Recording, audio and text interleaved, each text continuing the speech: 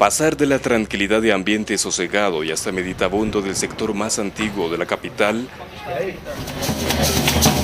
a esta bullanguera y alegría en la misma localidad representa el entusiasmo y la febril manifestación popular que despierta la ola amarilla en torno de un candidato con el cual, desde indígenas hasta bolívares de lo más criollo, quieren compartir con él, en realidad con sus ideas porque las ideas libertarias están en Samuel desde siempre, porque viene en su sangre, en su herencia, y es la herencia que queremos llevar a la alcaldía, porque Samuel es el alcalde que quiere el pueblo.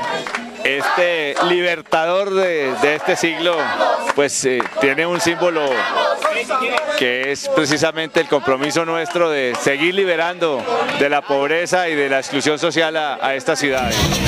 Luego la gesta libertadora se dirigió en caravana desde la Plaza Rumichaca en la carrera tercera con calle séptima hasta la Plaza Belén.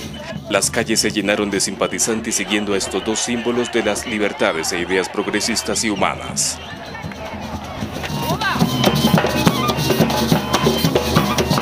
Mucha fue la gente que como José Miguel Cárdenas quiso sumarse a la causa, colocándose la camiseta del nuevo alcalde de los bogotanos. Bueno, José Miguel, ¿qué fueron las cosas que usted le pidió a Samuel? Bueno, que me regalara la camiseta y yo con todo gusto les puedo colaborar en la, al voto. La caravana fue descendiendo rumbo a la carrera séptima y con ella la ola amarilla iba creciendo en simpatizantes, muchos de ellos con los años de experiencia que le acreditaban un testimonio veraz y genuino. Un admirador de mi general Rojas Penilla.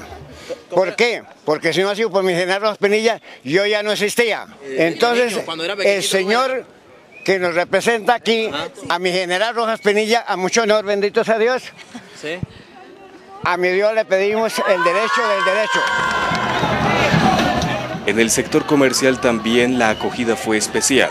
Allí mismo aprovechó para recordar su política de menos volardos y más fines sociales.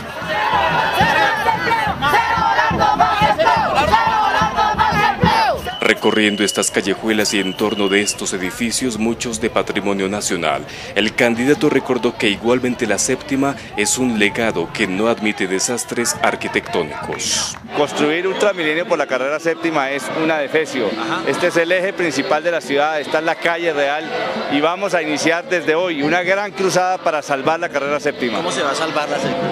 Se salva, se salva haciendo presión, haciendo movilización, que la gente salga a defender lo que hoy es patrimonio de la ciudad. Aunque caía la tarde y el arrebol se hacía menos vistoso, lo que se concluyó es que la ola amarilla le colocó un matiz pintoresco y alegre a esa hora a la ciudad.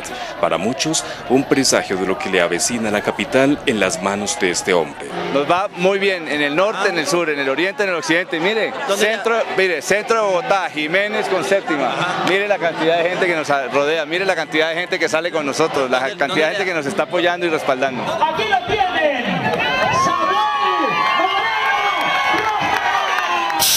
Y en medio de este público, el candidato les recordó a los asistentes muchas de sus propuestas sociales que deben coincidir con los planes de infraestructura de esta localidad.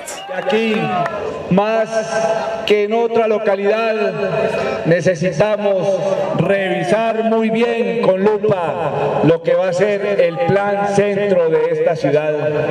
El plan centro no puede constituirse en una forma de desplazamiento. El plan centro no puede constituirse en un atropello y mucho menos en un desconocimiento de los derechos de los habitantes del centro histórico de Bogotá.